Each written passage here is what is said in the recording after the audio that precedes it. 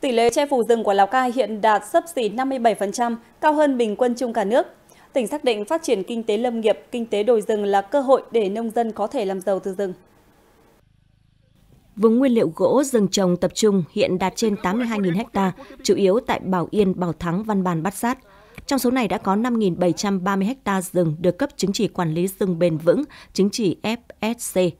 Toàn tỉnh cũng đã có 315 cơ sở chế biến gỗ, tổng công suất từ 200.000 đến 250.000 mét khối gỗ mỗi năm. Công suất chế biến hiện tại đáp ứng được 65 đến 75% vùng nguyên liệu hiện có. Lào Cai đang tập trung trồng rừng để đến năm 2025 có trên 100.000 ha rừng trồng, thu hút đầu tư xây dựng một nhà máy tinh chế gỗ, sản xuất các sản phẩm từ gỗ với công suất trên 200.000 mét khối một năm tại huyện Bảo Thắng, hình thành hai trung tâm chế biến lâm sản tại các huyện Bảo Thắng và Bảo Yên, hoàn thiện vận hành các dây chuyền còn lại của nhà máy MDF Bảo Yên theo chứng nhận đầu tư đã được phê duyệt.